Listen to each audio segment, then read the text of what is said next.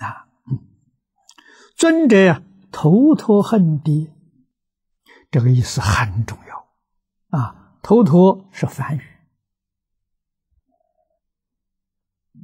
啊，那么翻成中国意思呢，抖擞，或者是叫做淘汰啊。抖擞什么？我们身上有灰尘的时候啊，抖一抖的时候，灰 尘就就就就呃就抖掉了啊啊，所以也是有淘汰的意思啊。一十二行淘汰尘劳烦恼啊啊，那么他这个这个这个这个十二行是苦行。实在讲，大家舍村者出身是富贵人家了，啊，在社会上很高的地位，啊，是是豪富人家了子弟，他来修苦行，啊，来代表苦行，啊，也就是佛。在灭度的时候教我们：以苦为师，以戒为师。迦叶尊者是好榜样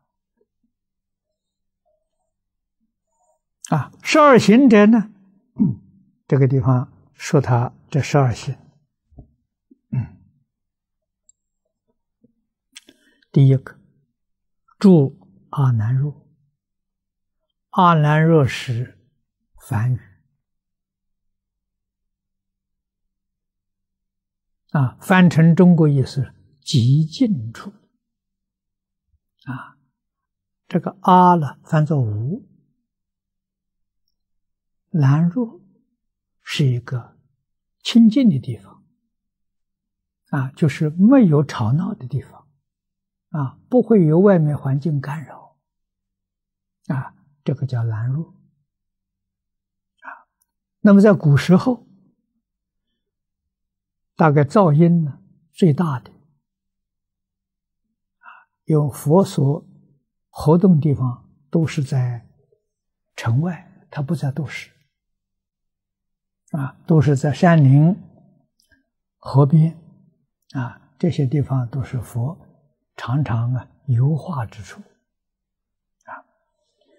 所以在农村里面，农业社会养牲口。牛叫的声音呢最大，他以这个为标准。他们所住的地方啊，农村里头牛叫的声音听不到，这就很安静啊。以这个为标准啊，这住懒弱。第二呢，常行其实